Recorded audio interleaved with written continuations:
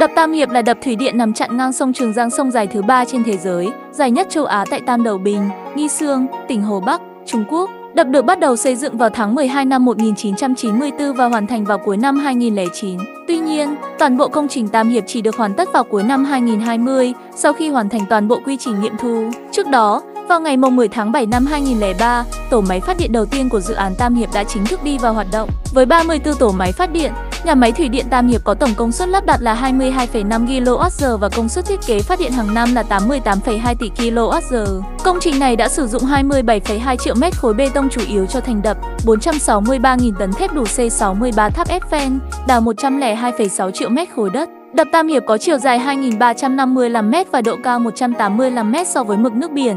Hồ chứa có thể tích 39,3 km khối, chứa được khoảng 42 tỷ tấn nước và tổng diện tích bề mặt nước 1.045 km vuông. So với nhà máy thủy điện lớn nhất Việt Nam, Thủy điện Sơn La với sức chứa 9,26 tỷ tấn nước, thì công trình này có sức chứa gấp 4,5 lần.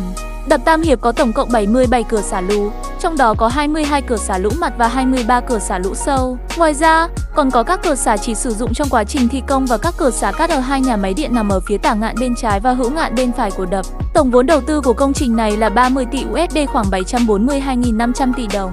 Đây cũng chính là đập thủy điện lớn nhất trên thế giới. Tuy nhiên, chức năng chính của công trình Tam Hiệp không phải là phát điện mà là kiểm soát lũ. Trong năm 2020, Đập này đã thành công trong việc kiềm chế đỉnh lũ của trận lũ thứ 5 trên sông Dương Tử Trường Giang, với lưu lượng lên tới 75.000 mét khối trên giây, mức nước lũ lớn nhất mà đập Tam Hiệp đã phải đối mặt kể từ khi hoàn thành xây dựng. Kể từ khi hoạt động vào năm 2003, dự án Tam Hiệp đã thực hiện 66 lần kiểm soát lũ ở trung và hạ lưu của sông Trường Giang, với tổng dung tích phòng lũ là 208,8 tỷ mét khối. Một chức năng khác của công trình Tam Hiệp là vận tải hàng hóa. Hệ thống vận tải hàng hóa tại đây đã được vận hành từ năm 2003, bao gồm hai hệ thống vận tải đường sông. Hồ chứa của đập nhấn chỉ một khu vực trải dài đến 600 km về phía thượng nguồn, cho phép tàu hàng tải trọng lớn di chuyển 2.250 km từ biển Hoa Đông Cảng Thượng Hải đến tận thành phố Trùng Khánh. Có thể khẳng định rằng Trung Quốc là một trong những quốc gia sở hữu hệ thống siêu đập thủy điện lớn nhất trên thế giới. Với 6 đập bao gồm ông Đông Đức, Bạch Hạc Than, Khê Lạc Độ, Hướng Gia Bá, Tam Hiệp và các Châu Bá, một hệ thống năng lượng sạch lớn nhất thế giới đã được hình thành trên sông Dương Tử tại đất nước tỷ dân này. Những tranh cãi xoay quanh việc xây dựng đập thủy điện Tam Hiệp, giống như nhiều đập nước đang xây dựng khác trên thế giới, dự án này cũng gây ra nhiều ý kiến trái chiều trong và ngoài Trung Quốc. Các đề xuất ủng hộ dựa vào các lợi ích kinh tế từ việc kiểm soát ngập lụt do sông Trường Giang gây ra và năng lượng từ thủy điện. Các ý kiến phản đối chủ yếu tập trung vào lo ngại vỡ đập, chi phí cho 1,9 triệu người phải di cư, sự mất đi nhiều địa điểm có giá trị khảo cổ học và văn hóa, cũng như các tác động đến môi trường. Vấn đề gây tranh cãi nhất là về mức độ thiệt hại mà đập Tam Hiệp gây ra cho môi trường. Theo nhiều ước tính, 70% lượng nước ngọt của Trung Quốc bị ô nhiễm và sự hiện diện của con đập này càng làm cho tình trạng này trở nên tồi tệ hơn. Đập được xây dựng trên đỉnh của các cơ sở xử lý chất thải cũ cùng với hoạt động khai mỏ. Mỗi năm, khoảng 265 triệu gallon nước thải thô đã lắng xuống dòng sông Trường Giang.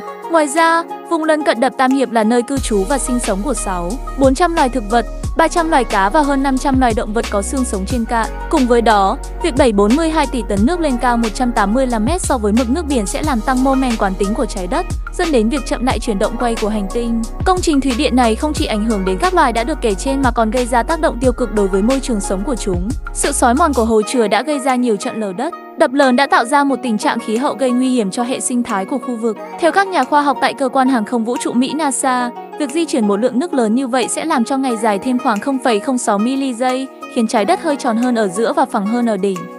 Tác động cũng làm điểm cực lệch đi khoảng 2 cm. Tuy nhiên, các nhà nghiên cứu cũng cho rằng không có lý do để lo ngại về tác động này vì sự thay đổi trong chuyển động quay của trái đất thường xuyên xảy ra do ảnh hưởng của mặt trăng và các động đất.